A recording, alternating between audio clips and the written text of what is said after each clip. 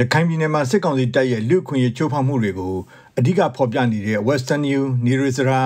Development Media Group, Bora News Agency, Arakan Bay News, ABN, Kukuche Blog, Arakan Princess Media, Voice of Westland,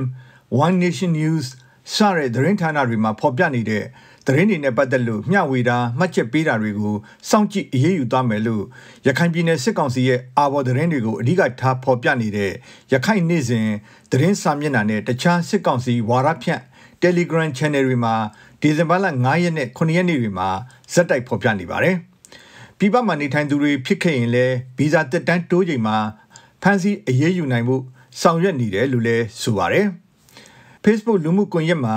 ရေးသားဖော်ပြနေတာနဲ့ပတ်သက်လို့စစ်တွေနဲ့အမ်းမြို့တွေကအမျိုးသမီး2ဦးနဲ့အမျိုးသား2ဦးကိုဖမ်းဆီးပြီးရာစတကြီးပုံမှန်905ကာကြီးနဲ့အမှုဖွင့်အရေးယူထားတယ်လို့လည်းဖော်ပြထားပါတယ်။ဒါပေမဲ့ရခိုင်သတင်းဌာနတွေကသတင်းတွေကိုထပ်ဆင့်ဖော်ပြတာမှတ်ချက်ပေးတာနဲ့ပတ်သက်လို့တိုက်ရိုက်သက်ဆိုင်မှုရှိမရှိကိုတော့ဖော်ပြထားတာမရှိပါဘူး။စစ်ကောင်စီထိန်းချုပ်ထားတဲ့မြမအလင်းသတင်းစာမှာတော့ရခိုင်နေ့စဉ်ကဖော်ပြတဲ့သတင်းဟာသတင်းတုသတင်းမှားတာဖြစ်ပြီး ရခိုင်ပြည်နယ်အစိုးရကတရားဝင်ထုတ်ပြန်တာမရှိဘူးလို့ဒီဇင်ဘာလ9ရက်နေ့ကဖော်ပြထားပါတယ်။ဒါပေမဲ့ရခိုင်ပြည်နယ်စစ်ကောင်စီနဲ့နှီးစပ်သူတွေကတော့ရခိုင်နေ့စဉ်သတင်းစာမျက်နှာမှာစစ်တွေမျိုးအခြေစိုက်ဒေတာကုတ်ကဲမှုစစ်ဌာနချုပ်ဒါကဆကထိန်းချုပ်ပြီးသတင်းတွေဖြန့်ဝေနေတာလို့ပြောကြပါတယ်။ဒါဟာရခိုင်ပြည်နယ်မှာစစ်ကောင်စီတပ်ကသူတို့ရဲ့လူခွင့်ရေးချိုးဖောက်မှုတွေကိုဖုံးကွယ်ဖို့ရခိုင်သတင်းဌာနတွေကိုချိန်ချောက်လာတာလို့ Western News သတင်းဌာနအယ်ဒီတာချုပ် ဝနခွန်ညူကပြောပါတယ် ဒီလိုမီဒီယာတွေရှိနေတာသူတို့မလိုချင်ဘူးသူတို့မမြင်ချင်ဘူးပေါ့နော်တရားဆွဲမဲ့ချင်းချုံမှုတွေတောက်လျှောက်လုပ်တယ်ပေါ့အရင်ကလေရခိုင်ကမီဒီယာတွေကိုဒီချိတ်ပိတ်တာတွေဒါပေမဲ့ဖန်စီသတင်းထောက်တွေကိုဖန်စီမှုတွေတောက်လျှောက်လုပ်လာတယ်သူတို့ရဲ့ဒီလူကိုယ်ချိုးဖောက်မှုတွေကိုသူတို့ကိုသူတို့သိတယ်ဒါပေမဲ့အဲဒီပြည်သူတွေကိုဖုံးကွယ်ခြင်းတဲ့ဆန္ဒနဲ့ရခိုင်မှာရှိတဲ့သတင်းဌာနတွေကိုသူတို့တောက်လျှောက်ချင်းချောက်ပြီးလှုပ်လာတဲ့အနေအထားတွေ့ရတယ်အခုတစ်ခါထပ်ပြီးတော့သတင်းမျှဝေတာတွေကိုမရေးတဲ့လူတွေကိုတော့သူတို့ဖန်စီအရှိယူဖို့ဆိုတဲ့ဟာကိုချင်းချောက်လာတဲ့အနေအထားတွေ့ရတယ်စစ်တပ်ကငါတော့ရှုံးနေပြီဆိုတဲ့ဟာကိုသူတို့တက်သေးပြလိုက်တာလည်းဖြစ်တယ် Western News သတင်းဌာနအယ်တာချုပ်ကိုဝနခွန်ညုံနဲ့တခြားသတင်းတောက်တဦးတို့ကိုမဟုတ်မမှန်သတင်းဖော်ပြတယ်ဆိုပြီးစစ်ကောင်စီကပြီးခဲ့တဲ့2022ခုနှစ်အစောပိုင်းမှာ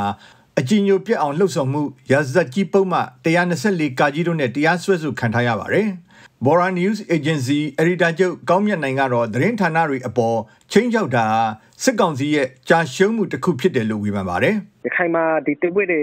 ကျင်းပြီးတော့စားတင်လာတဲ့နောက်မှာရခိုင်မီဒီယာတွေကိုအမှုဖွင့်တာဖန်ဆီးအရေးယူတာတွေလုပ်လာတယ်။အခုနောက်ပိုင်းကျရင်မီဒီယာတွေလာမကဘူးဒီသတင်းစားသုံးသူတွေဖြစ်တဲ့ဒီပြည်သူတွေကိုတော့ပိုင်မဲ့ထားပြီးတော့ဒီဖန်ဆီးအရေးယူတာတွေလုပ်လာတယ်။အဲ့ဒီပြင်ပါလဲဆိုတော့ဒီပြည်သူတယောက်ချင်းရဲ့ဒီလွယ်လွယ်ဆိုသတင်းသိပ္ပံခွင့်နဲ့သူတို့ရဲ့ဒီပုဂ္ဂိုလ်ရေးဆိုင်ရာကျင်းနေမှုနဲ့ဒီဖဲရှုတာလေးလာတာလိုက်တဲ့ပေးတာကိုအစားအရေးဖို့လို့ပြောတာဒါဟာသူတို့ရဲ့ကြာဆုံးမှုနောက်ဆုံးအရှင်ရောက်နေပြီလို့ဖော်ပြတာပေါ့နော်ဒါဟာဒီရခိုင်ပြည်သူလူထုတရဲလုံးကိုရင်းသူတို့ပဲအခွာတော်ပြီးတော့ရခိုင်ပြည်သူတရဲလုံးကိုဖက်စီနိုင်စက်မယ်ဖက်စီတက်ဖက်မယ်ဆိုပြီးတော့သူတို့ကဒါတရားဝင်ထုတ်ဖို့ပြောဆိုလိုက်တာပဲရခိုင်ပြည်နယ်မှာစစ်ကောင်စီကစစ်ဆေးဂိတ်တွေတိုးချဲ့ပြီးပြည်သူတွေကိုမလိုအပ်ပဲစစ်ဆေးတာငွေကြေးတောင်းခံတာတွေရှိကြောင်းသတင်းဖော်ပြခဲ့လို့ Bora News Agency ကိုလည်းပြီးခဲ့တဲ့မတ်လကမဟုတ်မမှန်သတင်းဖော်ပြရဲဆိုပြီးစစ်ကောင်စီကဆွဆွဲထားပါတယ်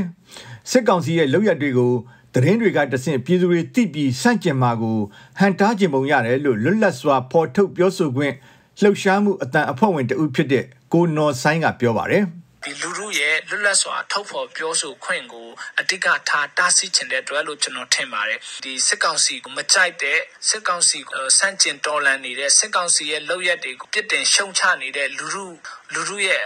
သဘောထားတွေကိုအတိတ်ကထားပိတ်ပင်ချင်တာဖြစ်ပါတယ်သူတို့စန့်ကျင်နေပေါ့နော်လူလူကြားမှာဒီ mobilize ဖြစ်သွားမှာကိုသူတို့အဓိကစိုးရိမ်တာပါဒီလိုမျိုး mobilize ဖြစ်သွားတဲ့အခါကျရင်ဒီလူလူအားပေါ့နော်ပို့ပြီးတော့ကြီးမားလာတာလူလူရဲ့ momentum ပို့ပြီးတော့မြင့်မားလာတာသူတို့အဓိကထားကာကွယ်ခြင်းတဲ့အတွက်လို့ကျွန်တော်ထင်ပါတယ်ရခိုင်တပ်တော် AA ရဲ့ပြန်ကြားရေးတာဝန်ခံ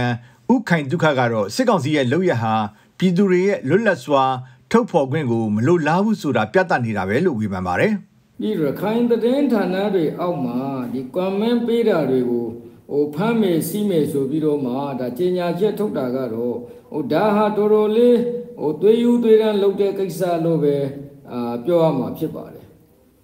ဟိုတစ်ဖက်မှာဒီပြည်သူတွေရဲ့ဒီလွတ်လပ်စွာ ပြောဆိုခွင့်ကိုဟိုလုံးဝမလိုလားဘူးဆိုတာဟိုပြတ်တတ်နေတာဖြစ်တယ်လို့ဟဟိုပြည်သူတွေကို အကြီးအကျယ်ကြောက်ရွံ့တုန်လှုပ်ပြီးတော့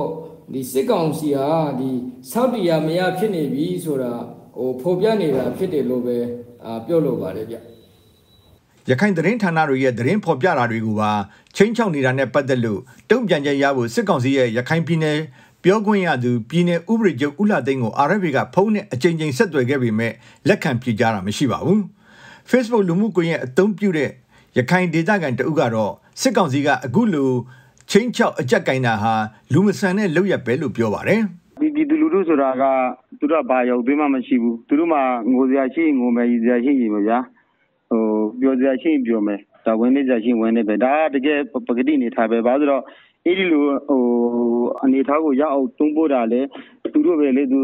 အောက်ချုပ်သူဆိုတာကပြည်သူကိုရည်စည်နိုင်တယ်ငိုစင်နိုင်တယ်ဗျာဟို ဇေယုတ်တရုတ်ကိုသူတို့ဘယ်လိုကပြလဲဆိုတော့ပုံမှာမူတည်ပြီးတော့ပြည်သူကရှာရတာပဲလေဒါခံစားတာပဲအဲ့ဒါကိုမခံစားနိုင်လို့တားတာကတကယ်လူမဆန်တဲ့လုပ်ရတစ်ခုလို့တော့ရှုမိတယ်စစ်တပ်ကအာဏာသိမ်းပြီးတဲ့နောက်သတင်းသမားတွေကိုပြစ်မှတ်ထားအရေးယူတာတွေကြောင့်ရခိုင်ကတချို့သတင်းဌာနတွေရန်နာထရသလိုရခိုင်အခြေစိုက်သတင်းတောက်အယောက်30တဲ့မင်းထွက်ပြေးတိမ်းရှောင်နေကြရတယ်လို့သတင်းတောက်တွေကပြောကြပါတယ် ကျွန်တော်ကတော့ကိုကြီးပါဒီသတင်းကိုအမေရိကန်ပြည်ထောင်စုဝါရှင်တန် DC မှာရှိတဲ့ RFA ရုံးချုပ်ကနေတင်ဆက်ခဲ့တာဖြစ်ပါတယ်ခင်ဗျာ